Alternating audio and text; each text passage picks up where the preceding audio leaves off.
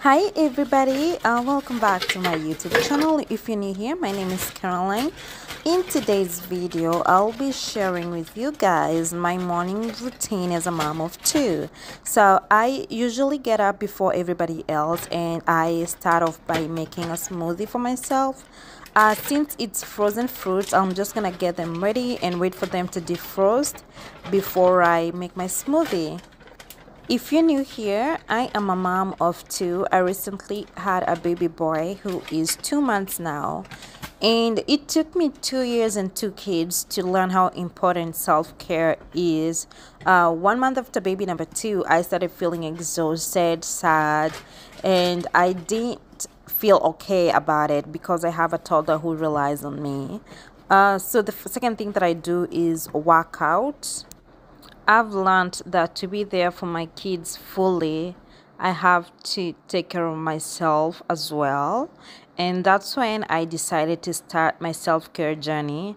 And so far, I feel happy as a mom and wife. I feel fulfilled at the end of the day. I started planning my days a little bit better. And yeah, I feel like I'm doing great. Uh, we're starting this year really good and on a high note. So, yeah.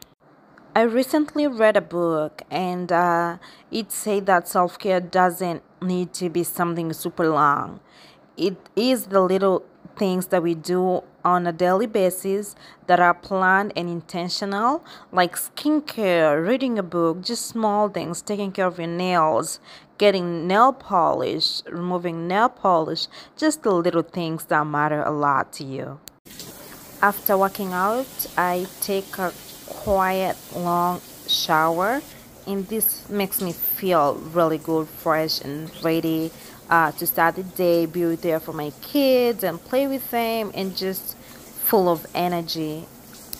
So, for me to be able to do this, it has come with its own sacrifice. I have to get up a little bit earlier than everybody, but it has been so worth it before I started doing this, I felt very unproductive because I would wake up at 7 with everybody else, mostly my kids.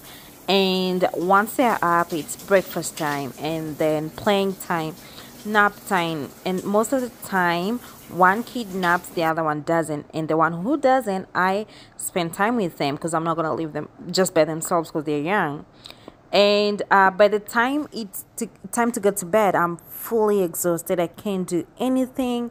I'm very tired and i end up going to bed as well.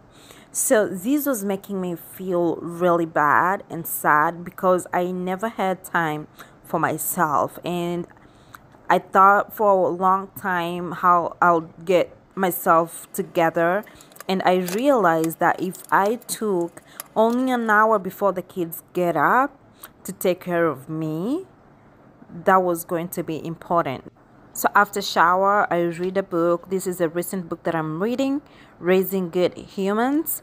I got it from amazon and it's very inspirational and has very good tips and points uh, for a new mom for any person for caretaker guardian uh, who's who's taking care of kids. I used to love planning, like writing down the things that I plan to do in a day. And then when I became a mom, that all went out the window. So I recently got back into that and it's been amazing. So in my planner, I have three things or four that I must do on a daily basis. And that's working out, taking care of my skin, taking a shower, and reading a book. Uh, the last thing that I do is get my breakfast ready. So today I'm having a bagel, an orange, and a yogurt. So at this point, everybody is waking up and we're all gonna have breakfast as a family. And yeah, I'm ready to start my day.